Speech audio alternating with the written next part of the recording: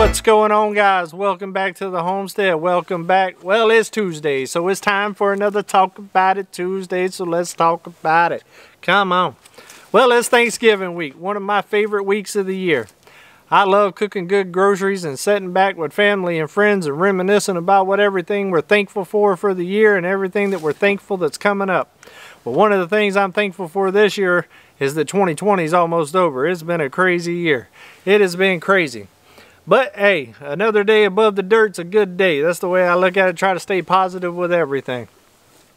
I'm actually off this week from my paying job, so uh, excited about that. But anybody that has a homestead knows that there's really no such thing as days off. Back here working on Egg Quentin. I got part two of the predator proof chicken coop video uh, put out Saturday, I believe, Saturday or Sunday. I'll link that right here. So check that out. There's a lot of good information and stuff on that video on how to keep predators out of your chicken run and how I actually built this chicken run behind me. It didn't cost a lot of money. It took a little bit of time and effort, but it sure was worth it. Now I'm out here working on the actual chicken coop part, turning this shed into the actual uh, coop.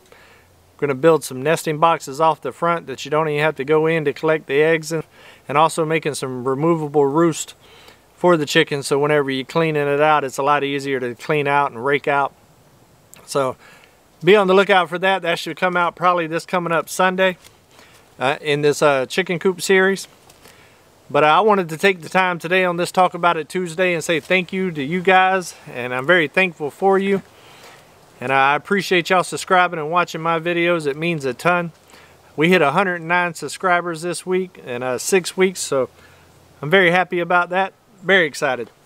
And that's all because of y'all. I really enjoy reading y'all's comments. And uh, tell me in the comments what's your favorite part about Thanksgiving and, and what's your favorite uh, recipe that you got. This week on Fired Up Friday, I think we're going to do a turkey breast. Every year I cook an extra turkey or turkey breast on the smoker just for turkey sandwiches all week. Because that's one of my favorite things about old Thanksgiving is the turkey sandwiches the week after.